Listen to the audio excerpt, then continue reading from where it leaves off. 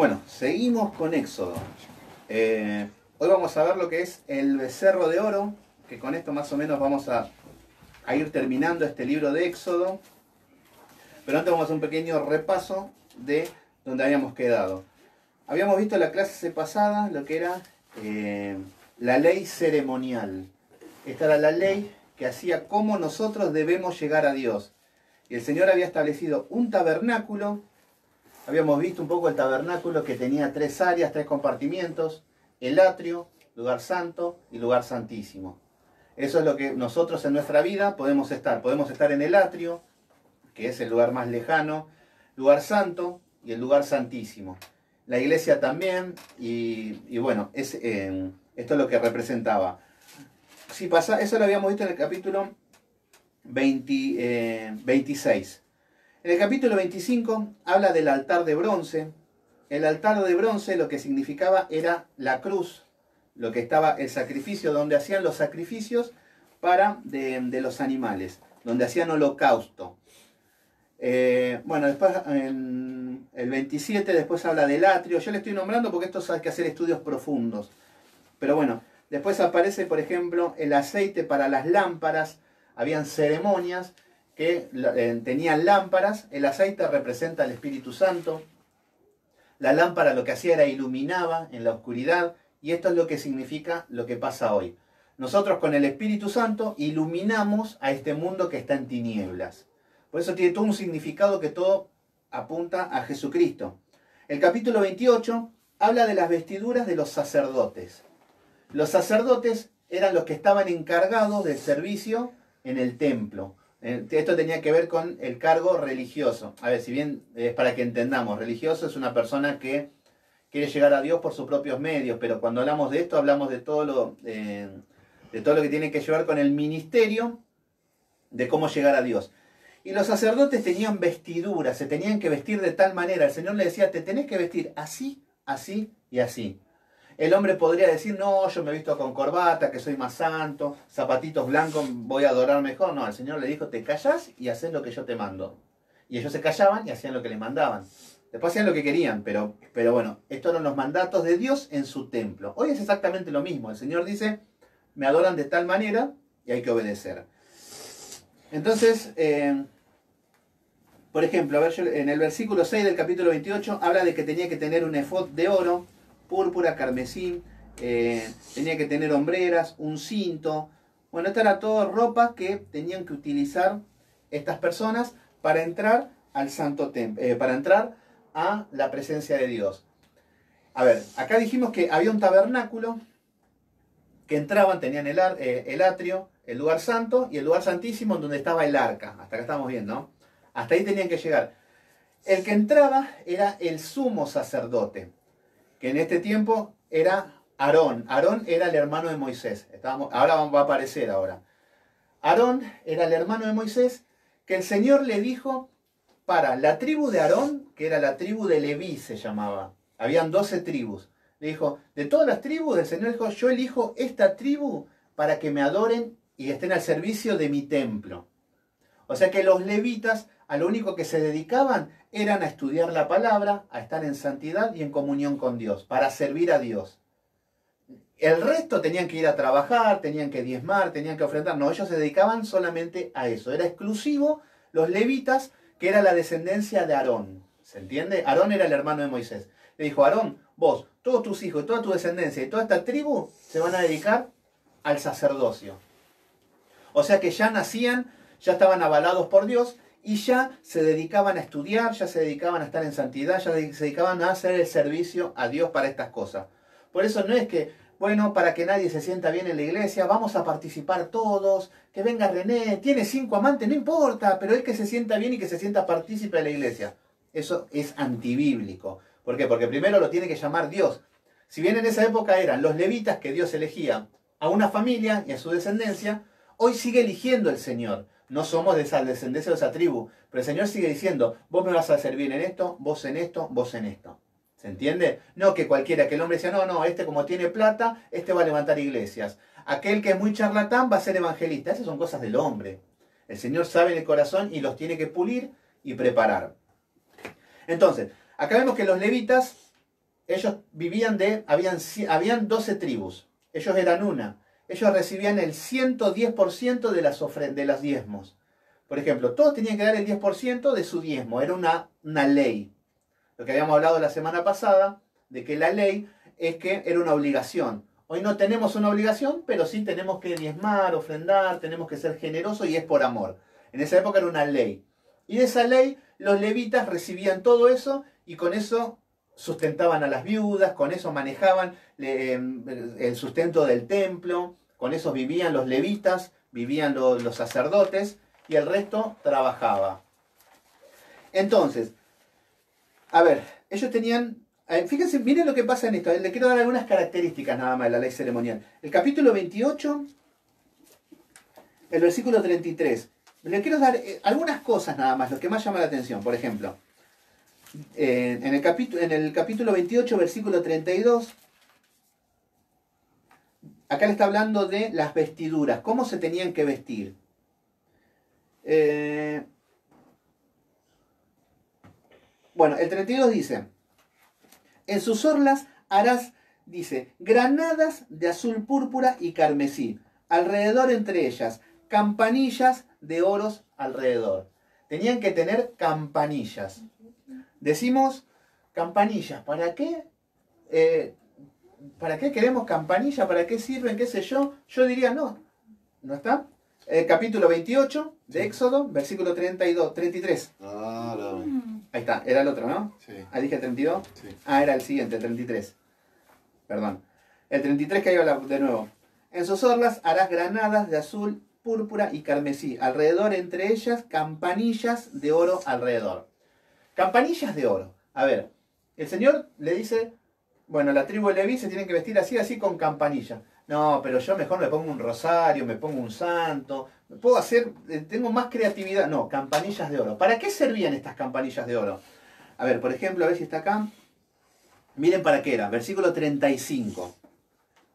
Y estará sobre Aarón Acá era Aarón el sumo sacerdote, la cabeza máxima. Después del sumo sacerdote habían sacerdotes, pero había uno que era el, líder de todos los sacerdotes. Dice, y estará sobre Aarón cuando ministre y oirá un sonido cuando él entra al santuario delante de Jehová. Él entraba y había un sonido que eran las campanillas. Tenía que entrar al arca, que era donde estaba la presencia de Dios. Por eso no podía ir cualquier cuatro de copa, cualquiera que recién empezó, no, yo voy, no, no. Tenía que ir el sumo sacerdote como Dios lo manda. ¿Y por qué? Dice, que entre al santuario delante de Jehová. ¿Y cuando, y cuando salga? ¿Para qué? Para que no muera. ¿Qué significaba esto? El, sumo sacerdote que entraba al arca y no estaba en santidad, no estaba en obediencia, no estaba haciendo, no estaba en reglas, digamos, moría. ¿Por qué? Por la presencia de Dios. La presencia de Dios estaba ahí y los fulminaba. Entonces tenían que estar, a ver, ellos se preparaban todo el año para ese momento. Entonces, esta preparación, habían muchos levitas, todos que estaban al servicio, que podían pasar su vida y no trabajar en el, en, porque eran, eh, eran miles de levitas los que estaban, no era uno solo. No era uno que dirigía, no era una nación, y habían gente que se preparaban, se preparaban, incluso hasta no le podía tocar nunca. Y hoy nos ponemos tristes, no, si a mí nunca me tocó predicar en la iglesia, no, que yo, bueno, esta gente se dedicaba toda su vida y para llegar a estos momentos tenía que ser algo sublime. ¿Qué es lo que pasaba? Iba entrando al, santuario y se escuchaban las campanitas cuando caminaban. Si en un momento se dejaba de escuchar las campanitas, tenían que entrar los sacerdotes cabeza agacha y lo tenían que llevar muertos. Por eso cuando se dejaba de escuchar las campanitas era que moría por la presencia de Dios. Y eso es porque no estaba en reglas el hombre que entraba. Esto es lo que significa. Por eso cuando vemos hoy en día que salen a tocar gente llena de pecados, con amantes, sin consagración, tocan y no pasa nada por misericordia de Dios, pero delante de los ojos de Dios es una abominación. Por eso hay que estar preparados como nos establece acá el Señor. Acá las vestiduras tenían que tener todo lo que eran eh, ornamentos, que significa cada cosa tenía un significado, por eso hay que estudiarlo profundo. Y por ejemplo, debajo tenían que tener como una ropa interior que eran como un vestido de lino fino. Era el lino fino era algo, eh, algo muy, eh, muy valioso en esa época, era blanco al 100% ¿Y qué representaba eso? Representaba que el sacerdote tenía que tener esplendor por fuera, piedras preciosas, todo lo que el Señor le mandaba, y por dentro ropas blancas, que significaba que debemos ser limpios por fuera y por dentro. Y ahora lo que encontramos que son bonitos por fuera y por dentro sepulcros blanqueados. Por ahí vemos gente con corbatita, con bonito, con, caras de bueno, pero por dentro llenos de adulterio, lleno de fornicación, lleno de robos, de envidia. Y a esto es lo que estaba representando. Ropas blancas, por fuera y por dentro. ¿Se entiende? Por eso todo esto decíamos, ¿para qué me sirve? Si tenía una piedra, una ropa interior blanca, ¿qué me interesa? No, el Señor no está diciendo eso. Y esto está hablando para los sacerdotes, que es la élite máxima de lo que es la administración de Dios. Entonces, fíjense, por ejemplo, en el, en el 39 está esto lo que les estaba diciendo. Yo estaba resumiendo. Por ejemplo, ven, lo que le dice esto de, dice, y bordarás una túnica de lino y la harás, eh, le harás una mitra de lino y harás también un cinto. Bueno, vieron, acá le está explicando todo. Yo le estoy resumiendo porque es muy largo y yo quiero entrar ya al becerro. Entonces, a ver, después fíjense que en el 30 aparece el altar de incienso. El incienso tenía que ver con... Eh, con hierbas aromáticas, incienso, que tenían que prender, y esto lo que hacía era un olor grato. Habían varias especias. Esto está bueno para estudiarlo porque estas son las oraciones. Las oraciones lo que hacían era que las oraciones tenían que llegar con un olor grato al Señor. Esto es lo que habla del incienso. Entonces el incienso, cuando lo prendían, prendían fuego y había un olor agradable. Incluso con ese olor dicen que hasta las ratas, hasta los animales inmundos se alejaban con esa fragancia que había en ese lugar. Y eso es lo que quiere el Señor. Un olor fragante que eran las oraciones gratas al Señor. Eso es lo que... Porque, por ejemplo, el Señor, nosotros podemos ir con todos los pecados, todos, pero si vamos arrepentidos de corazón, es una oración con un olor fragante y agradable para el Señor. Ahora si vamos con, con una mala intención, con doble sentido, con que Señor manipulando, no es agradable al Señor. En el, antes del versículo 30 aparecen las ofrendas diarias, lo que tenían que ofrendar. ¿Vieron? Todo esto está hablando de el servicio en la ley ceremonial. Que hoy lo tenemos que hacer, tenemos que ofrendar, tenemos que orar, ¿vieron? Tenemos que ser limpios por dentro y por fuera, vestirnos bien, vestiduras sacerdotales, está hablando. Después aparece, el incienso aparece en el... también, después vamos a hacer un estudio de esto, que es la, cada, incienso es un tipo de oración, que eso estaría bueno para saber, porque hay una oración de arrepentimiento, una oración de agradecimiento, oración de que nos toca el orgullo, hay un montón, entonces hay que ver cada uno cómo opera. Entonces después, fíjense lo que aparece en el capítulo 31, que ya estamos entrando al becerro casi, y aparece el día de reposo como señal. ¿Vieron? Esto es algo ceremonial para el pueblo de Israel. Se van a congregar el día sábado, le dice el Señor. Entonces, a Israel, después quedó abolido esto. Hoy podemos adorarlo todos los días. Entonces acá habla de que, todo este capítulo habla de que tenían que adorarlo el día sábado. Hoy aparecen los adventistas o los judíos que dicen en las sinagogas de capital, donde vemos judíos, están con el sábado, adoran el sábado. El tema es que hoy no tenemos el mismo calendario que había en este tiempo. Entonces, hoy no se puede cumplir el sábado, por más que vaya todos los sábados, porque estoy en otro calendario. Y el sábado caía un jueves, un miércoles, eran cada tantos días, no era algo con este mismo calendario. Entonces es algo que quedó abolido. Por eso no me puedo jactar de me congrego el sábado, soy salvo tal día. No, esto quedó abolido. Y ahora entramos, acá ya va a ser más livianito ahora. Ahora ya nos vamos a relajar. Esto fue más profundo, teológico, las tres leyes. Ley moral, por eso tenemos que, ubicarnos los diez mandamientos. Y hay que acordarse los diez mandamientos. Los evangélicos siempre dicen, no, los diez mandamientos amarás a Dios y amarás a tu prójimo. Listo, me, me ahorré de estudiarme los diez mandamientos. No, cada uno especificado y saber cuáles son. En Cristo sí, ya es por amor. Todos los mandamientos resumidos. Ley civil, que tenía que ver con la ley, que eh, la ley para un orden social y la ley ceremonial para llegar a Dios, y hoy es en la iglesia esto. Pero bueno, fíjense que Moisés sube a un monte a encontrarse con Dios, le resumo un poquito y ahora lo leemos, y queda el pueblo. Y siempre que se va el pastor, queda un líder. El Señor siempre establece algo. No hay nada más triste de que el líder se muere el líder y no quede más líderes, no tengan a quién seguir. Entonces Moisés se va y la mano derecha era Aarón, su hermano. Entonces hay que ver si está a la altura de la circunstancia. Venía bien, todo bien con Dios, qué sé yo. Pero cuando se fue Moisés, se fue al monte a encontrarse con Dios. Acá aparece también alguien que se llama Josué, que es que era el, digamos que era el, el aprendiz, el, discípulo de Moisés que estaba con él. Era fiel. Entonces se va con Moisés al monte, Moisés tiene que entrar y está cara a cara con Dios y es cuando le da las tablas de la ley, los diez mandamientos y todos estos mandatos se lo da cara a cara el Señor a Moisés. ¿Se entiende? Entonces, acá, ¿ya? Entonces, acá vemos que Moisés está cara a cara con Dios y el pueblo se queda con Aarón. Entonces, Aarón tiene que estar a cargo del pueblo y acá vamos a ver qué es lo que pasa.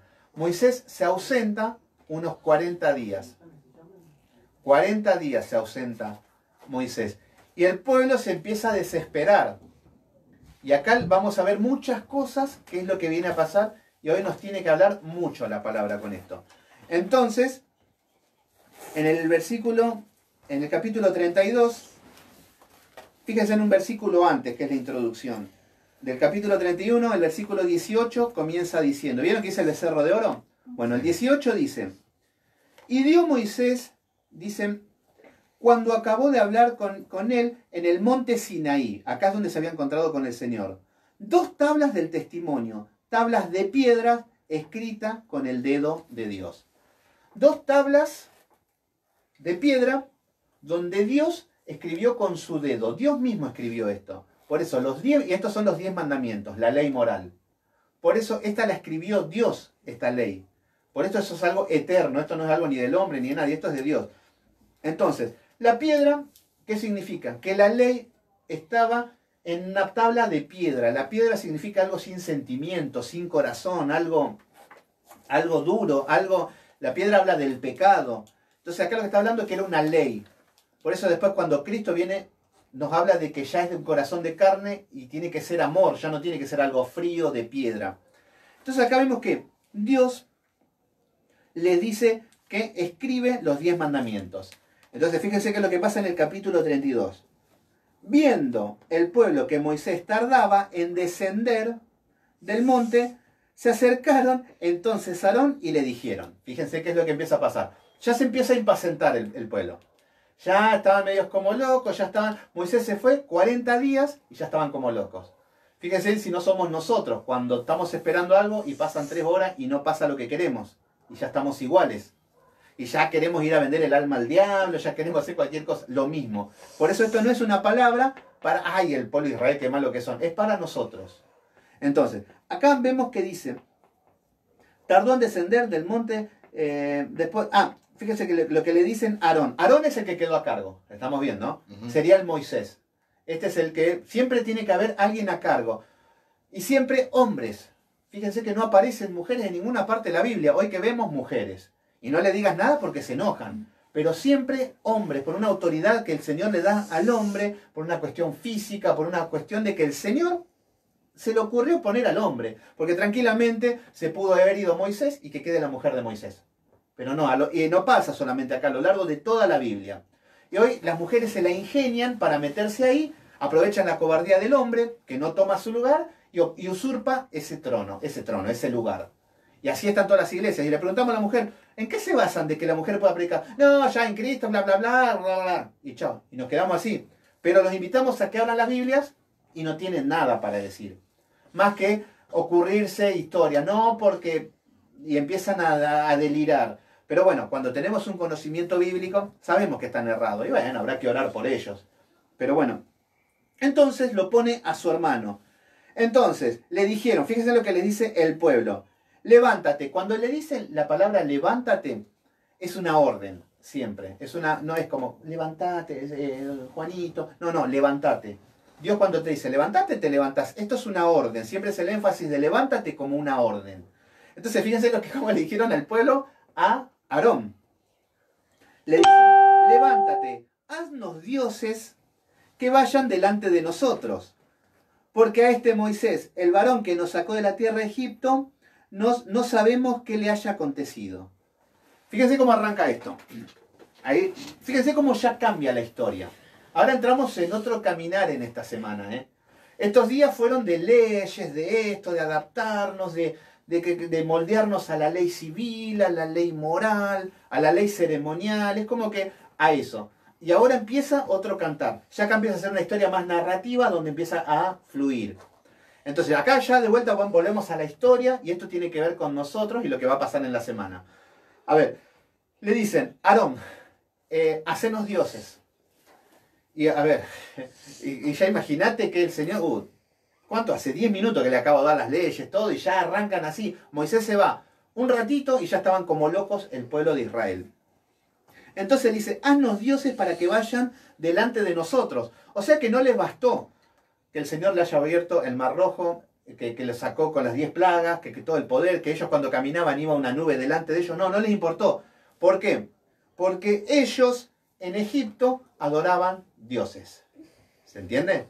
Ellos en Egipto tenían a Susan la Muerte, a su gauchito Gil, a Susan Expedito, al tarotismo, todo. Y eso es lo que pasa cuando empezamos a caminar en Cristo. Cuando vemos que está todo tranquilo, que no pasa nada, queremos volver a eso, a la idolatría. Sexo, droga, todos los que nos atrapaban nos queríamos volver. Por eso no podemos decir, ay, qué malo que son y nosotros tan buenos. No, nosotros iguales. Porque el Señor no nos contesta dos semanas o sentimos que no está y ya empezamos a acudir a otras cosas. Es algo natural. Pero por eso tenemos que tomar esto como ejemplo de que cuando el Señor parece que no, no, no está, sigue estando, nada más que está en silencio. Y hay que saber esperar en Dios cuando está en silencio. Y es desesperante, porque es como que nosotros queremos hacer todo, pero el Señor nos manda que estemos tranquilos y confiar. Y eso se llama fe. No es decir, yo creo tanto en Dios que... Bueno, eso es fe. ¿Vos crees mucho en Dios? Bueno, cuando no te habla, quédate tranquilo y seguí confiando en Dios. Y ahí se van a ver los verdaderos cristianos y los que no son cristianos. Entonces le dijeron, haznos dioses. ¿Por qué dioses? Porque allá venían adorando todo tipo de imágenes. Y acá de vuelta lo mismo. Y si nos vamos al capítulo, eh, bueno, seguimos un poquito, que ahora vamos un poquito atrás. Entonces le dicen que vayan delante de nosotros. Ya no querían a Jehová. Porque este Moisés, varón que nos sacó de la tierra de Egipto, o sea que ¿quién le sacó para ellos de la tierra de Egipto? Moisés. ¿Quién hizo los milagros? Moisés. ¿Quién es el que abrió el mar rojo? Moisés. Y eso es lo que no entendían, de que ellos veían un hombre. Pero ¿quién estaba detrás de eso? Dios. Entonces ellos no podían verlo a Dios porque lo veían a Moisés. Y esto es lo que pasa hoy en día con nosotros. No, no, no, que mi pastor, él es el único, él es el ungido, él tiene la autoridad, la presencia y él me ora y ya me sana todo. Sí, es un canal, igual que Moisés, pero detrás de esto está Dios. Entonces no hay que perder la vista con los pastores, hay que respetarlos, saber que Dios se manifiesta con ellos pero no idolatrar a los dioses. Y hoy tenemos la gente idolatrando pastores. Encima los pastores solamente te hablan del yo, del superpoder, de todas cosas así. La gente empieza a idolatrar. Este hombre es santo, este hombre es poderoso. Y en ningún momento te dicen que son débiles. Y lo que tienen que enseñar es que somos hombres de carne y hueso y pecadores. Entonces, si yo le estoy diciendo yo soy de carne y hueso, soy pecador, ahora vamos a ver una macana de Moisés, también justo acá. Entonces, si yo le estoy diciendo que soy pecador, que tengo tentaciones, que por la gracia de Dios me mantengo firme y le, empiezo a contar un poco cómo es, el día que yo caiga no se van a desilusionar. Porque eso es lo triste, que gente idealiza a un pastor como el superpoderoso. Él me habla, él, qué, gloria, qué poderoso que estuvo el culto con este varón, guay, y la gente está así. Y después ese hombre cae en adulterio, le roba a la gente, todo, y la gente se destruye en las iglesias. ¿Por qué? Porque la gente tiene su fe en un hombre. Por eso yo lo que les digo es que soy una cosa eh, pecadora, los pastores somos, son, así, no digo somos, eh, los que estamos dando la palabra o los que estamos en, algo somos pecadores. Los pastores son pecadores, son todos. Por la gracia de Dios se camina correctamente, pero no, somos eh, no estamos exentos de caer en pecado. Entonces hay que verlo con, con realidad. El único que fue perfecto fue Jesucristo. Entonces, a los pastores los amamos, los queremos, son de bendición, necesitamos de ellos, pero no son Superman. ¿Se entiende? Por eso, el día que caigan o el día que hagan una macana, les doy una noticia, son pecadores, igual que nosotros. Entonces, no idolatremos pastores como estos hombres. que decían, Moisés que nos sacó de la tierra de Egipto. No sabemos qué haya acontecido. ¿Qué es lo que pensaron? Ellos pensaron que Moisés murió. Fíjense lo que es. O sea que Moisés murió de la nada. Entonces, acá ya lo que empezó a haber era ansias en el pueblo. No tenían paz, no tenían tranquilidad, claro, no, estaban en comunión con Dios. Entonces empezaron a desesperar. Y no hay nada peor que cuando una persona queda sin autoridad. Por ejemplo, yo digo, yo soy profesor de escuela. Los tengo todo tranquilito, los chicos en la escuela, todo. Un minuto que voy a buscar o a comprar una lapicera, algo que ojo ahí que está a 20 metros, dos minutos y los chicos ya rompen todo, que se levantan, que ya se están matando, que se escupen, que hacen... ¿Por qué? Porque es nuestra naturaleza. Mientras estamos siguiendo un pastor, mientras tenemos algo, que, algo de autoridad, nos sujetamos. Cuando no está la autoridad, rompemos todo. Es nuestra naturaleza. Imagínense una sociedad sin policía. Ahora mismo, si no hay policía, imagínense, se, se, empieza a descontrolar toda esa la naturaleza humana. Y acá vemos que el pueblo de Israel no fue la excepción. No sabemos lo que haya acontecido. Entonces estaban impacientes, inquietos, y ya no tenían comunión con Dios, su líder no lo tenían más, y van y le caen al que estaba al líder de turno. Y por eso acá vamos a ver la importancia de la preparación de los líderes para ejercer un cargo. Porque muchos se ponen, no, yo creo que sí, que soñé, que bla, bla, bla, que, que, que, que soy el elegido. Después me pongo el mismo problemita y ya me tumba. Satanás me tumba. Entonces vamos a ver qué, los, que pasó en el versículo 2. Eh, y Aarón les dijo, ellos le pidieron hacer, dioses. ¿Y acá qué le tendría que haber dicho a Aarón? No, muchachos, ¿qué quieren? Acá, a ver, antes de entrar en esto. Acá las iglesias, el pueblo, todo lo que tiene que ver con esto se divide en dos. Ovejas y cabritos. Las ovejas son humildes, son mansas, escuchan la palabra de Dios. Los cabritos no escuchan nada y hacen lo que quieren. Entonces uno se tiene que decidir. Yo tengo un cabrito y tengo una oveja. Yo tengo que decidir si le doy de comer a la oveja o le satisfago todos los placeres al cabrito.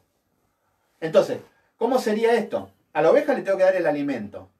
Jehová es mi pastor, nada me faltará, hay que darle el alimento bíblico. Y la oveja lo va a recibir y va a ser para edificación para su vida y va a caminar. Esto es una evidencia de que son hijos de Dios.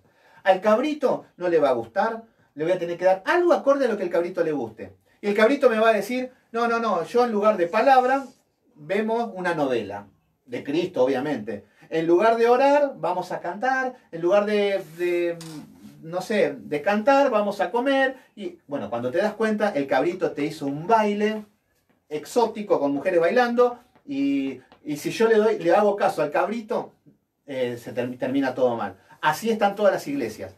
Le dan, a ver, le dan más importancia a los cabritos. ¿Por qué? Por un número, por personas, para no desagradarlos, y no alimentan a las ovejas. Y así andan las ovejas del Señor Jesucristo sin alimento, errantes, no saben para dónde ir, afligidas, dolidas y lastimadas.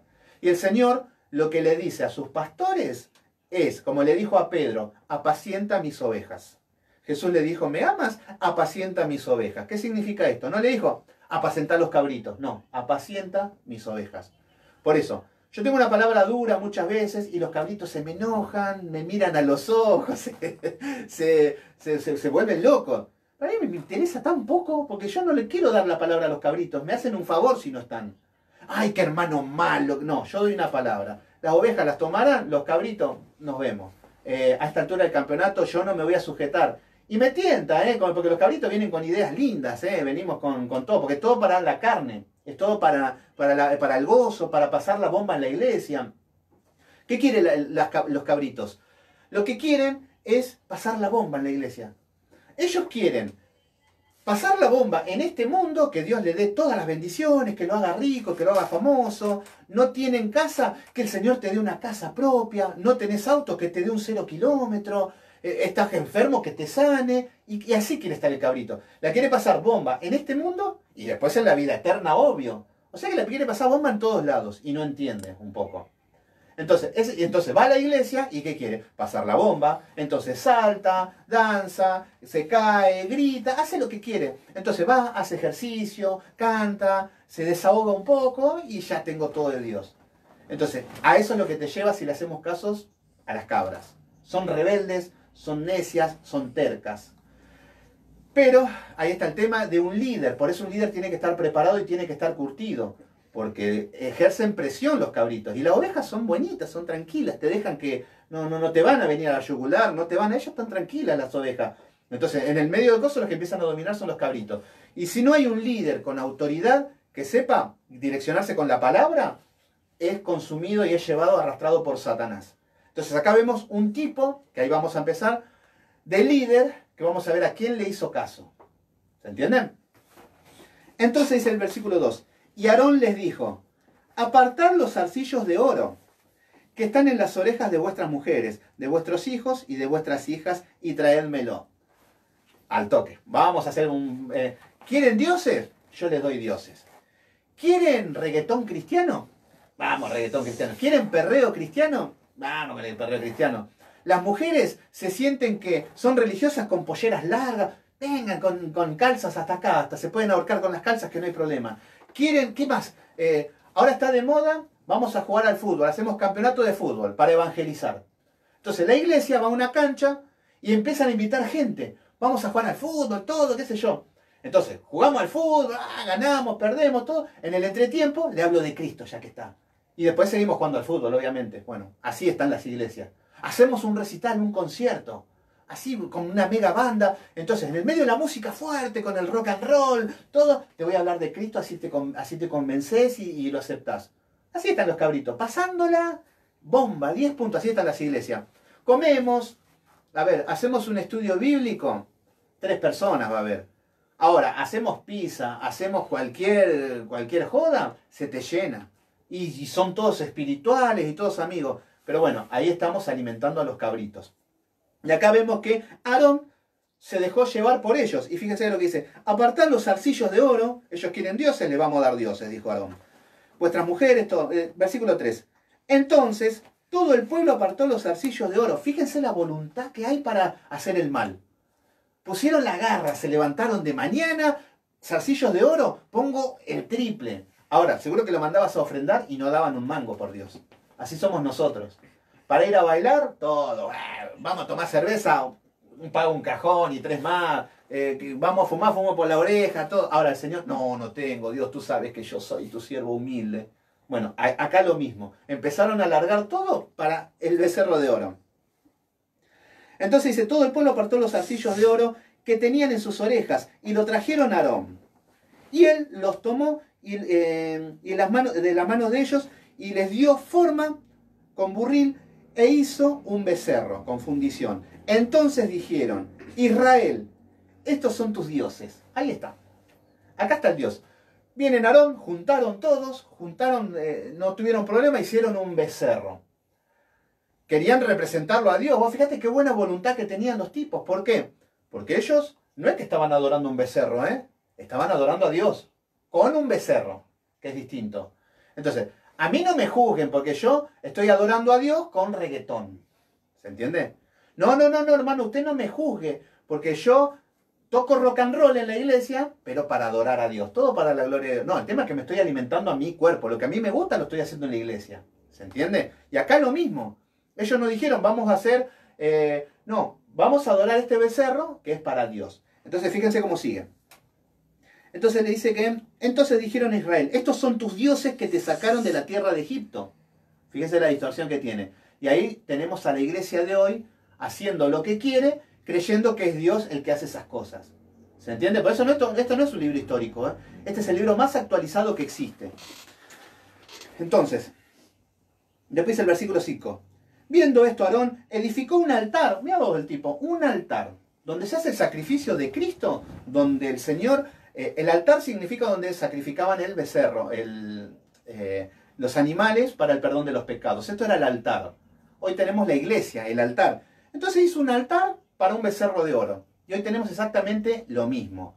En el altar de Cristo, donde se tiene que exponer su palabra, vemos danza, gente bailando, vemos que eso es lo que hacen los brujos, vemos eh, ruidos, vemos baile, vemos un montón de descontroles que están en el altar.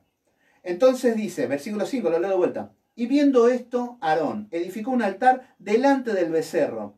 Y pregonó Aarón y dijo, mañana será fiesta para Jehová. fiesta, fiesta, fiesta, rock and roll, lo mismo. Fiesta, fiesta y fiesta. O sea que nosotros no es que somos modernos y nosotros nos gusta la fiesta, no. En el Antiguo Testamento a los hebreos ya le gustaba la fiesta. Entonces, fíjense que, y el Señor le había dado hace 20 minutos los mandamientos, no estamos hablando de 8.000 años después, a ellos mismos le dio el Señor con todo lo que vivieron. ¿Qué significa esto? El pueblo de Dios vio todos los milagros, tuvo las leyes, todos los mandatos y no quisieron obedecer. Esto es lo que nos pasa a nosotros. Ahí vemos gente con el testimonio, no sé, mujeres endemoniadas que, el Señor las hace libre, va, que qué sé yo, y de un día para el otro no creen más en el Señor. No, no, porque ya no, no, eh, eh, y terminan adorando cualquier otra cosa. Y los hijos de Dios entienden que Dios obró con milagro, con fuerza y con poder. Los cabritos no. Y ellos vivieron todos, pero no querían saber nada.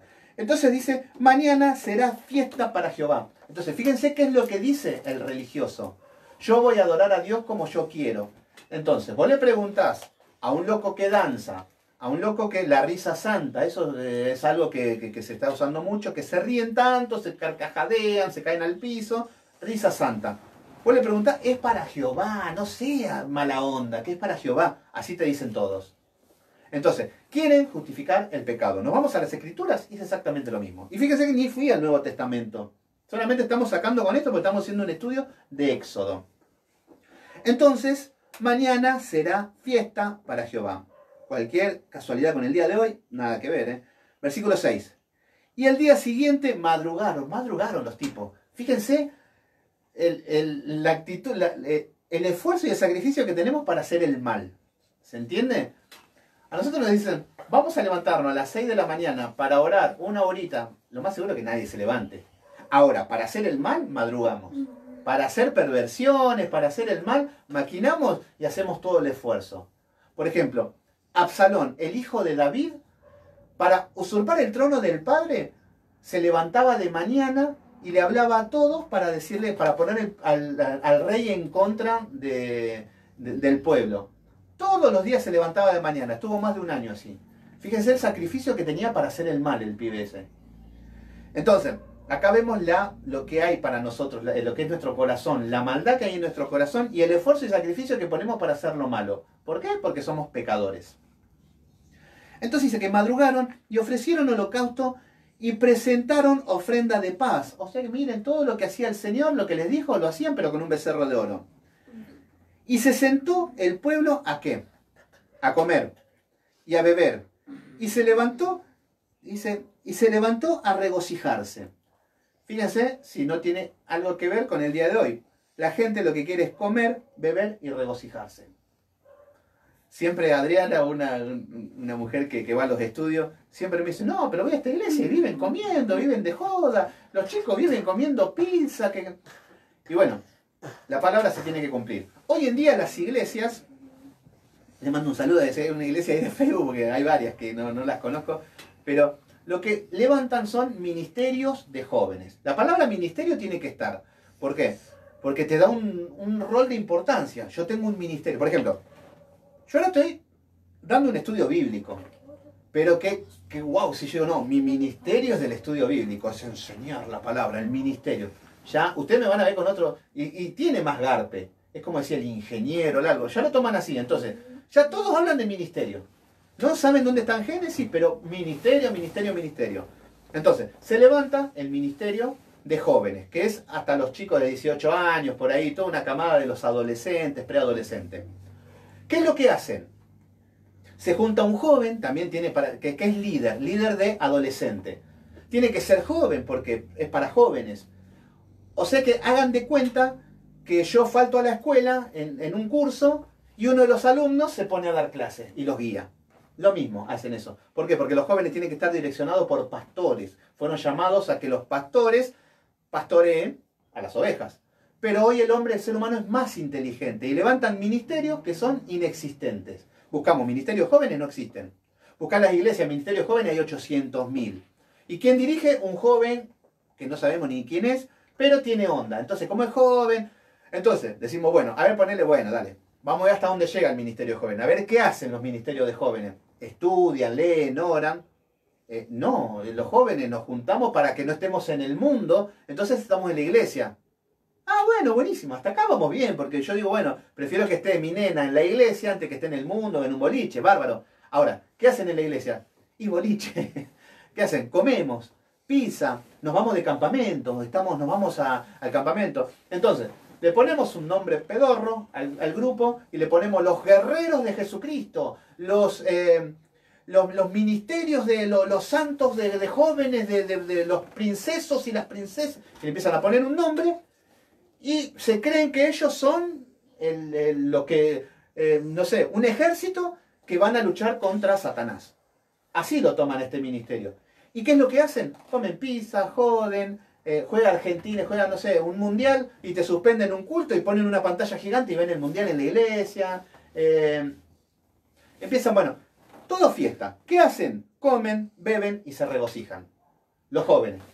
Está bien, a ver, qué sé yo, yo también a los 18 años yo quería comer, beber y regocijarme, qué sé yo. Si estaría en una iglesia también quisiera lo mismo, te entiendo. El tema es que la iglesia adulta, ¿qué es lo que hace? Come, bebe y se regocija. Lo mismo. A ver, esto es un síntoma de una iglesia carnal. La, carne te, te llaman, no son espirituales. Pero por eso es lo que dijimos la semana pasada. La iglesia se divide en tres. El atrio, que están los carnales, que es la mayoría lugar santo, que eran personas almáticas, que, la mente tenían algunos problemas, pero habían dejado, por ejemplo, la carne. Y en el lugar santísimo, que eran los espirituales, que siempre son los menos. Entonces acá lo que estamos viendo que esto eran personas carnales. Esto era el pueblo de Israel. ¿Vamos bien hasta acá? ¿Preguntas, algo? ¿Estamos bien? Entonces, bueno, vemos cómo sigue. Entonces dice, versículo 7. Entonces Jehová dijo a Moisés, Acá, esto es lo que pasaba, la película era así. Acá se armó el rock and roll.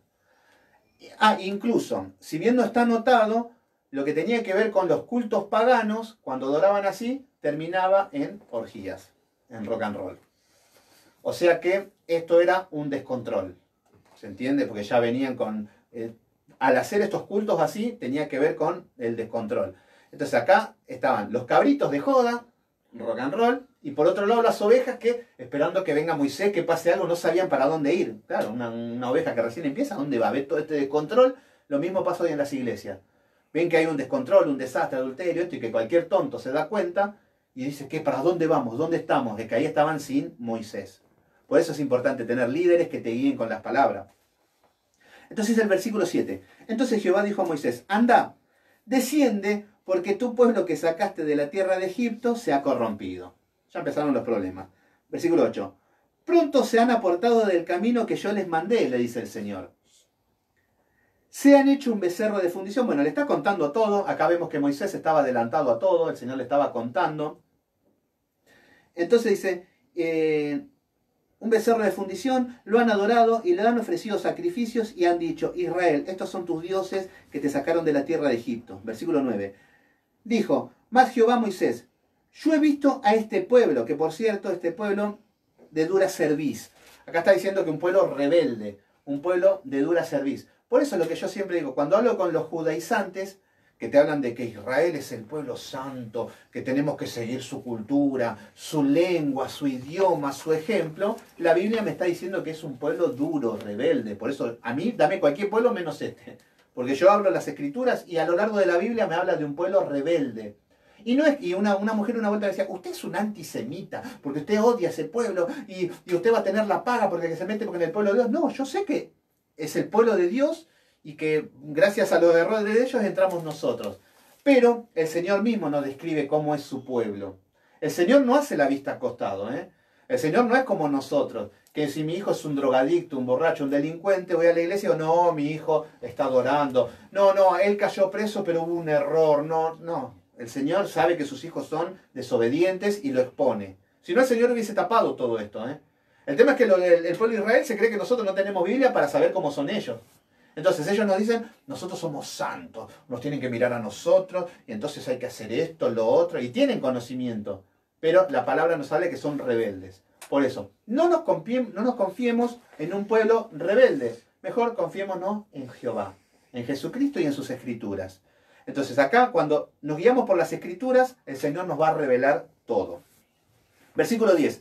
Ahora pues, miren lo que dice el Señor, ¿eh? dice, ahora pues, déjame que se encienda mi ira en ellos y los consuma, y de ti haré una nación grande. El Señor le dice a Moisés, bueno, voy y los voy a pulverizar a todos, le dice a Moisés. Y de vos, que vos sos el más bonito, que sos el mejor, que sos el más obediente, voy a hacer una nueva nación, más fuerte y más poderoso. Lo mismo que pasa hoy en día. El Señor podría fulminar a los cabritos, a todo lo que... Y, podría dar a los verdaderos una nación fuerte y verdadera. Esto es lo que dice el Señor. Nosotros podríamos decir, si estamos en, bien parados, sí, Señor, matalos a todos, que, que, no quede uno, que, que, fulminalos y tráeme un pueblo nuevo, un pueblo santo, que a veces eh, nos tienta esto. Pero vamos a ver qué es lo que hizo Moisés, que es como lo que tienen que hacer los verdaderos hijos de Dios. Versículo 11. Entonces Moisés oró en presencia de Jehová su Dios y dijo, Oh Jehová, ¿por qué se encenderá tu furor contra tu pueblo, que tú sacaste de la tierra de Egipto con gran poder y con mano fuerte? Versículo 12. ¿Por qué han de hablar los egipcios diciendo, para mal los sacó de la tierra, eh, los sacó para matarlos en los montes y para, eh, de la faz de la tierra. ¿Qué es lo que dice Moisés? No, no, Señor, para, ay, es como, imagínense, ustedes se tienen que meter adentro de... Imagínense que Dios le dijo a Moisés, los mato a todos. Mirá lo que están haciendo, voy y los mato a todos. Mi ira se derrama sobre ellos. Moisés pudo haber dicho, sí, mirá, no entendieron nada, sí, Señor, matarlos a todos. No, Moisés dijo, no, no, pará, pará, pará, pará. ¿Qué va a decir Egipto? Que salimos de Egipto todos poderosos con la mano de Jehová, vamos, que todo lo puedo Cristo me fortalece, buenísimo. Y a dos cuadras nos están fulminando el mismo Dios. Sería como hasta, hasta algo de. Eh, eso es lo que decía Moisés. Fíjense lo que es la, madurez de este hombre. Que decía, no, ¿qué va a decir el pueblo de Egipto que, que salimos con fuerza, con poder, que estamos, que tenemos un Dios, y ahora que el mismo Dios nos fulmine, sería ridículo. ¿Se entiende? Entonces le dice en el versículo, eh, dice, en la mitad del versículo 12, vuélvete del ardor de tu ira y arrepiéntete de este mal contra tu pueblo. Esto es lo que dice el Señor. Acá el Señor lo estaba probando. El Señor no se tiene que arrepentir, no es que dijo algo y se arrepiente. El Señor opera acorde a la fe, acorde al pueblo, acorde a cómo funcionó eh, Moisés, acorde a la actitud de Moisés. Por eso lo probó a Moisés también. Por eso el Señor nos va a probar nos va a poner un cabrito que nos vuelve loco, que no lo aguantamos, y el Señor te dice, ¿qué hago? ¿Lo mato? Sí, matalo. No, hay que tomar el ejemplo de Moisés. No, Señor, lo mismo. ¿Se entiende? Porque a mí me pregunta el Señor y yo digo, ¡eh, que arranque el fuego! El tema es que ese fuego me va a quemar a mí, porque yo no estoy muy lejano al resto. Entonces, eso es lo que vamos. Entonces, si yo pido que el Señor tenga misericordia del pueblo, la va a tener conmigo. Es así como opera el Señor. Si yo pido juicios para todo, el Señor va a ser justo y va a hacer juicio conmigo. Entonces, si yo tengo a René, que es un borracho, un jugador y un parrandero, yo no le digo, Señor, que le caiga un juicio porque yo también voy a caer. Entonces, no, Señor, tenés misericordia, tenés paciencia. No, todavía no, no, porque estamos en la misma, caemos los dos. ¿Se entienden? Es así como el Señor quiere que tengamos esa madurez. Y es una lucha, ¿eh? porque los cabritos son terribles, ¿eh? son terribles porque después los querían matar a Moisés, todo, y Moisés tenía que seguir clamando por ellos. Y es lo que nos pide a nosotros. Nos van a calumniar, nos van a insultar, nos van a blasfemar, hasta nos van a querer meter preso. Pero tenemos que tener el mismo modelo. Versículo 13. Acuérdate de Abraham, de Isaac, de Isaac y de Israel tu siervo, los cuales han jurado, eh, has jurado por ti y les has dicho, yo multiplicaré vuestra descendencia como las estrellas de los cielos. Bueno, acá qué es lo que dice, resumiendo esto, porque Fíjense lo que es un hombre con conocimiento bíblico. Está hablando con un Dios y no le dice lo que quiere, lo que supone o lo que siente. Dijo, no, Dios, vos le hiciste una promesa a Abraham, que era el primero, el primer llamado, a su hijo Isaac y a Jacob, lo que estábamos hablando hoy con Yani. Entonces dijo, vos le hiciste una promesa que le ibas a dar una tierra, una gran nación. Entonces, lo que dice Moisés tiene que ver con el carácter de Dios. No le dice, no, Señor, porque... Eh, no, no, Señor, pero vos le prometiste a, este pueblo, nuestra, nosotros somos la descendencia de Abraham, de Isaac y de Jacob. Nos prometiste una tierra, vieron cómo trata con Dios y así tenemos que tratar con Dios. Yo hay veces que eh, en la impotencia, cuando oro, digo, no, Señor, yo quiero bajar, me quiero salir, quiero esto.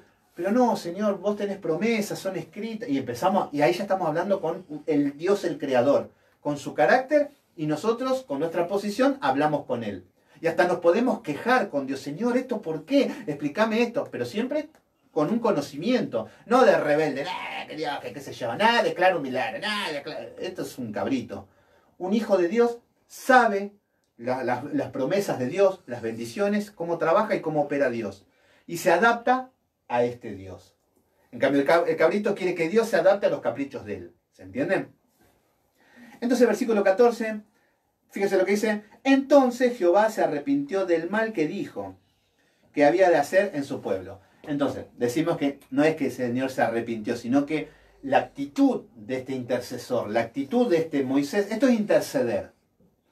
Interceder significa que una persona que está bien delante de Dios, en comunión, caminando, puede interceder por una persona que está lejos de Dios. Entonces, una persona, una persona que está cerca de Dios puede interceder por alguien que está lejos.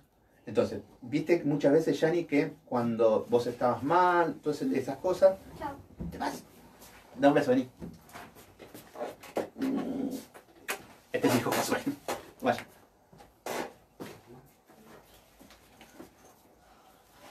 Ahí está. Entonces, lo que habla es... Eh, ¿Dónde estábamos? Ah, que se arrepintió del mal. Se arrepintió del mal y lo que estamos hablando de un intercesor. Por eso es lo importante tener un pastor que esté en comunión con Dios. Porque yo en un momento voy a estar desesperado, voy a estar cansado, turbado psicológicamente, espiritualmente, y voy a querer orar y mi oración no va a llegar ni al techo. No voy a poder orar, voy a estar asustado, voy a estar enojado con Dios, voy a estar blasfemando contra Dios. Entonces, es ahí donde aparece un nombre que es el intercesor, y él dice, no, no, Dios, habla conmigo. A él déjalo. Esto se llama interceder. Por eso nosotros debemos interceder por nuestra familia. Señor, él no te conoce, te blasfema. Yo, yo te pido, yo hablo por él, perdonalo, seguí, tené misericordia. Eso es lo que quiere el Señor. Estos son los intercesores. Y para esto están llamados los pastores. El tema es que muchos pastores no se enteraron que están llamados a esto. No se enteraron que tienen que orar por su pueblo.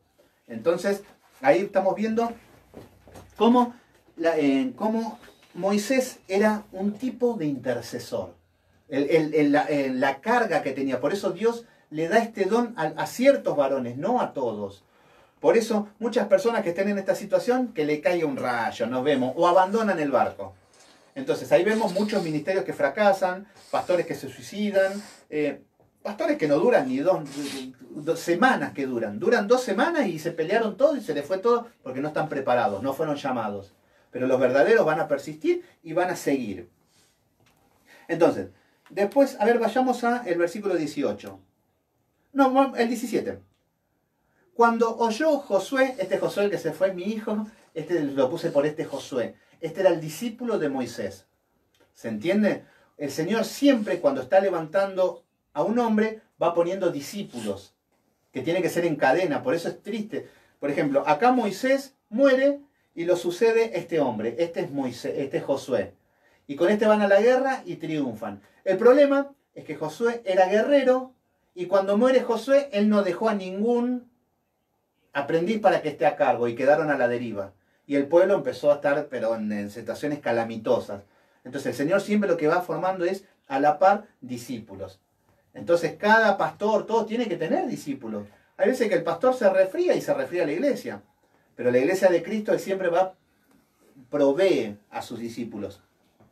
Entonces acá dice el versículo 17. Y cuando oyó Josué el clamor del pueblo que gritaba, dijo a Moisés, alarido de pelea hay en el campamento. Imagínense, 40 días, 40 días habíamos dicho una vuelta que eran pruebas. O sea que el, número 40 es prueba. El pueblo estuvo probado, no pasó nada. Josué estuvo probado. Imagínense Josué, se sienta así 40 días y Moisés se fue a hablar con Dios. Aguantó los 40 días, esperó, porque pudo haber, se pudo haber vuelto, pudo haber hecho cualquier cosa. O sea que vemos un hombre que iba pasando las pruebas. Entonces nosotros cuando aparece el número 40, prueba. ¿Te acordás, no, René? Los 40 días de prueba. Por eso es algo bíblico.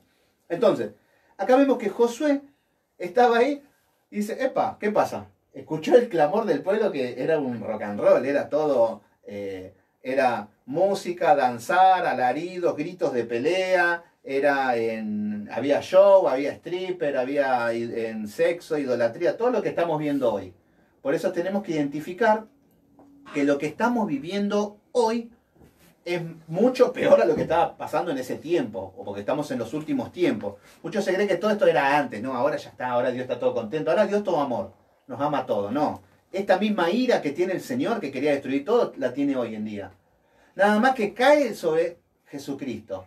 Pero a la larga, si el pueblo persiste en seguir pecando, caen los juicios. Y ahí tenemos las iglesias que se cierran, las iglesias que, eh, que, que el pastor cae por adulterio, por cualquier cosa, y las ovejas quedan todas esparramadas, que, bueno, no se sostienen, vienen los juicios, vienen y, pasan cosas graves, porque Dios ejecuta sus juicios. Entonces Josué dice que habían alaridos, habían pelea en el campamento, versículo 18, y respondió, no es voz de alarido de, eh, de fuertes, ni voz de alarido de débiles, voz de cantar oigo yo cantar. ¿Cómo están las iglesias hoy? Cantando, que mezclan cantar con alabar y adorar a Dios. Porque yo puedo cantar un cántico y adorarlo a Dios. Cuando entiendo lo que es el cántico, cuando lo siento y se lo dedico al Señor, estoy cantándole al Señor. Pero puedo venir acá a cantarme canciones de Jesucito en reggaetón, en rock and roll, y puedo cantar. Entonces ahí tenemos la iglesia cantando. Ah, sin el foco de adoración, pero cantando. Ellos se creen que cantan, que adoran, pero no. Acá estamos viendo lo mismo. Cantan, y versículo 19 dice, y aconteció que cuando llegó al campamento y vio el becerro que había, las danzas, acá aparecen las danzas. Fíjense cuál es el contexto de la danza. Hoy tenemos el ministerio de danza. ¡Wow! Si pensamos que lo habíamos visto todo, no hay ministerios de danza, mujeres bailando, se visten así medio como los zumbandas, con pañuelo, y dicen que eso le agrada al Señor. Y cuando vemos que en las escrituras no aparece una sola vez que el Señor le haya mandado que le hagan danzas. Pero claro, como las danzas le hace bien al cuerpo, en lugar de hacer fitness, en lugar de hacer, eh, no sé, zumba, en lugar de hacer cualquier cosa, hago danza en la iglesia. Entonces, bailo un poquito más lento y esto me hace más santo. Eso es lo que piensa la gente. Entonces tú dices, wow, cómo adoran al Señor, acepta No, eso es algo satánico. Por eso acá vemos que el pueblo estaba danzando. Danzando entre, como mínimo. Acá había un rock and roll en, todas las extremidades. Dice, acá dice que ardió la ira de Moisés. Acá vamos a ver un error de Moisés. Fíjense cómo Moisés tenía un temperamento de paz, de tranquilidad, flemático se llama el temperamento. Donde lo pinchaban y lo pinchaban. Este carácter es, eh, recién estábamos hablando, el, melancólico, que, se, que lo hieren fácilmente. El flemático es un carácter apacible, tranquilo, el mediador, el que nunca está enojado, el que nunca es desbordado, el que se le quema la casa y bueno, siempre está así. Pero el proceso es por dentro de estas personas. Y en un momento lo pinchan y agarrate cuando se enoja este, porque rompe todo. Y esto es lo que le pasó a Moisés. Es tanto que lo pincharon todo, ve esto y se enciende en ira. Entonces dice, fíjese lo que dice. Eh, ardió la ira de Moisés y arrojó las tablas de sus manos y y las quebró al pie del monte. Se enojó de la bronca, tiró las tablas de Dios.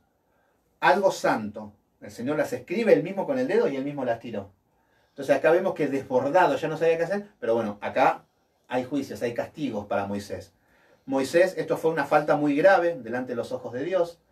Después, en un momento, el Moisés también una de las pocas manchas que tuvo. Iba caminando en el desierto del pueblo ya de tanto que lo jodía, le decía, danos agua, que estamos en el desierto. Y Moisés agarra una piedra, ¿quieren agua? Acá tienen agua, acá les doy agua. Y Moisés ya se creía que el poder lo tenía él. Ya el Señor vio que en el corazón él se creía, claro, como Dios se manifestaba a través de él, Moisés se creyó que él y golpeó la piedra, que lo que significa era Jesucristo. Bueno, esto muchas cosas. Pero por estas cosas no pudo ver la tierra prometida.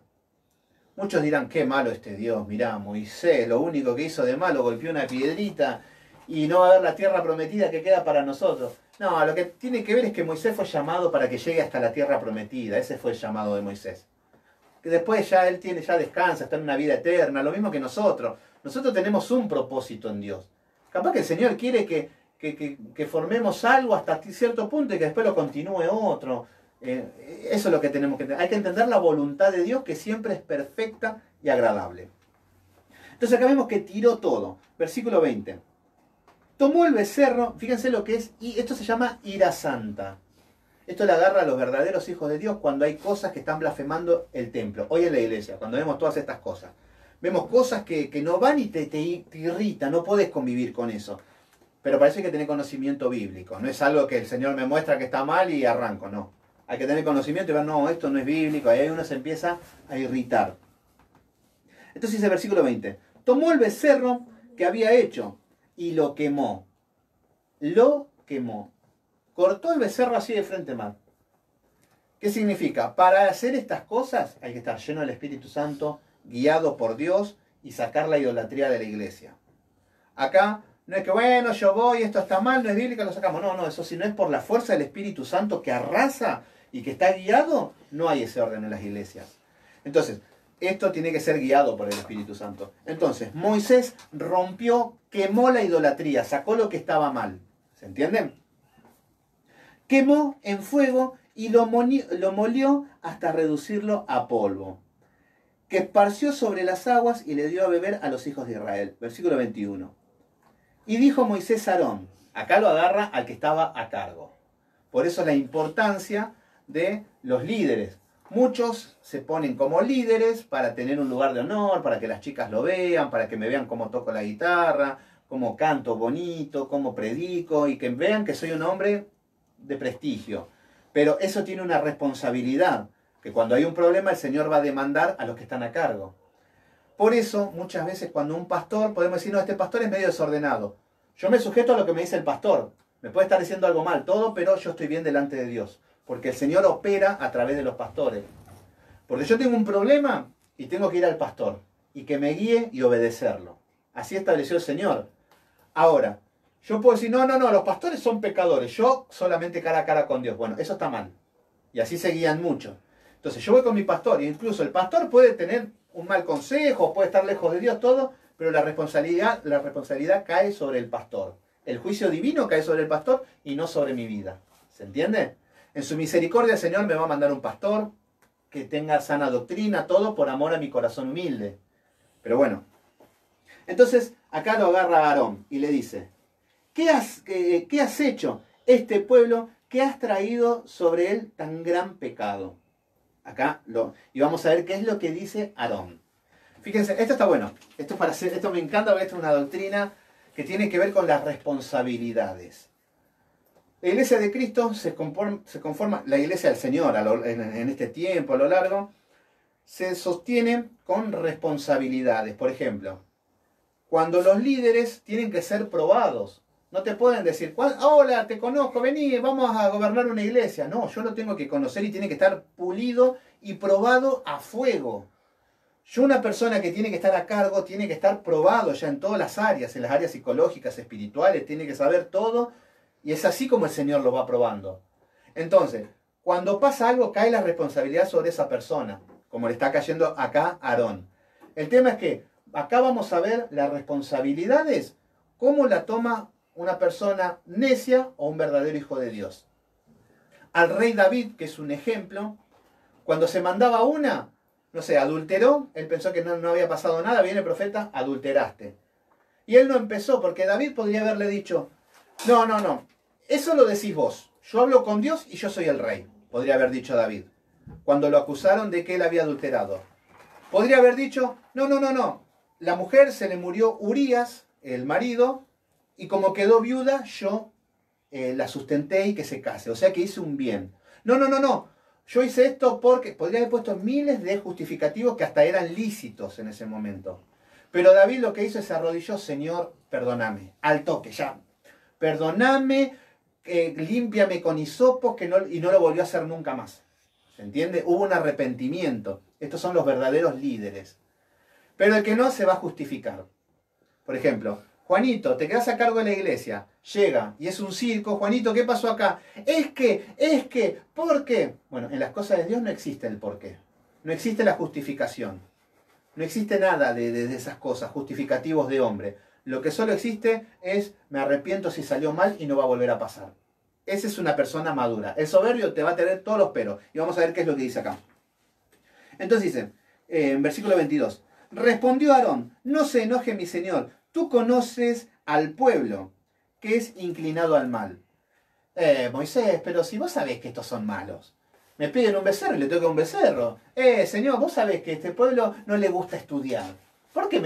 que no estudien. Ay, este pastor, si sabe que, que, que, estos cristianos les gusta el reggaetón. Entonces adoremos con reggaetón, con chamamé, cada uno, con que cada uno se sienta cómodo.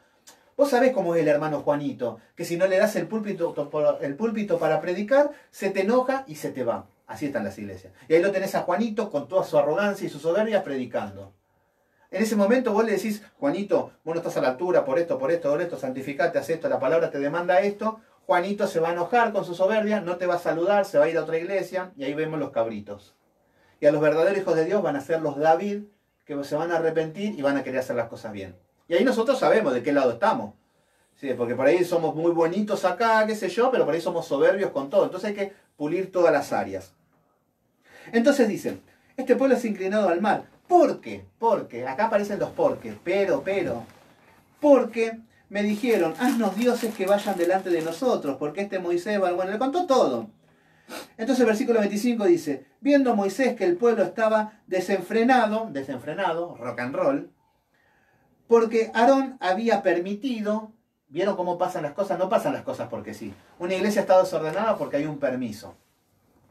Dice, para vergüenza entre, entre sus enemigos, se puso Moisés a la puerta del campamento y dijo, quien esté por Jehová, esto es lo que tiene que pasar hoy en las iglesias, quienes estén por Jehová, júntense conmigo. No me hago ni el Moisés ni el pueblo de Dios, pero cuando viene la palabra de Dios, en el versículo 26 estamos. En el versículo 26, lo leemos de nuevo.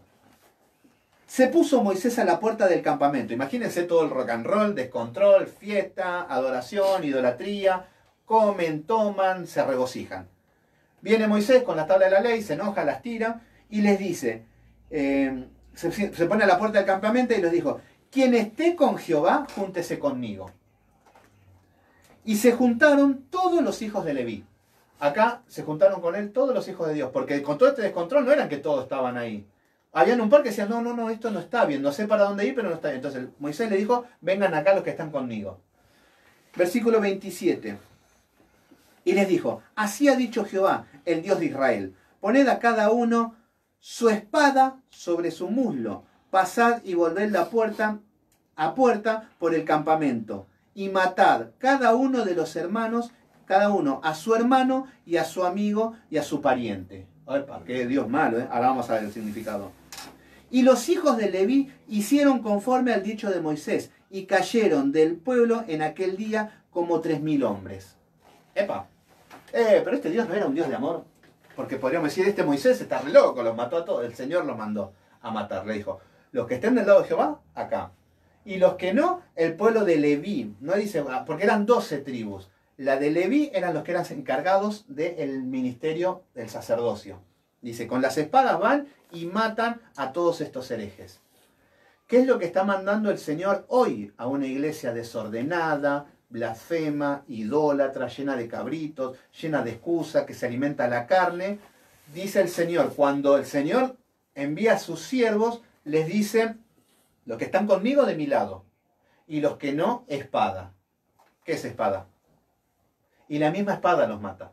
La misma espada hace que vuelen, hacen que huyan, hacen que desaparezcan de ese lugar, hace que haya orden en la iglesia. Entonces, es el mismo espíritu para el día de hoy. Y ahí cayeron 3.000 personas. Y hoy sería lo mismo. Si el Señor entra a una iglesia con la espada, con la palabra, empieza a pasar exactamente lo mismo. Por eso, cuando vio, ¿dónde era que estaba? Eh, creo que era eh, ya, lo último. Bueno, fue un estudio, pero 10. Fíjense lo que dice, haciendo una alusión a este tema, Mateo 10:34. Si quieren vayan, Mateo 10:34. Con esto cerramos, porque yo creo que hasta ahí está. Fue extenso el estudio, pero va como loco, ¿no? Mateo es el primer libro del Nuevo Testamento. 10, 34.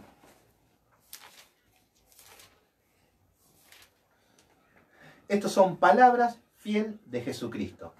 Acá en el Antiguo Testamento, fíjense cómo es la misma palabra, el mismo el, mismo principio. El Señor dice, con espada los mata.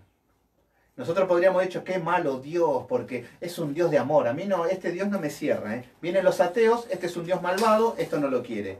Vienen los cristianos buenistas, Dios es todo amor, este Dios es imposible que haga esto. Y, ya que, y de última no lo leo. Y claro, las iglesias no lo leen, entonces nos salvamos de la espada. Viene que es hermoso esto. Entonces, acá aparece Jesucristo también. El versículo 34 del capítulo 10 dice, no penséis que he venido a traer paz a la tierra. Miren lo, que, lo primero que dice.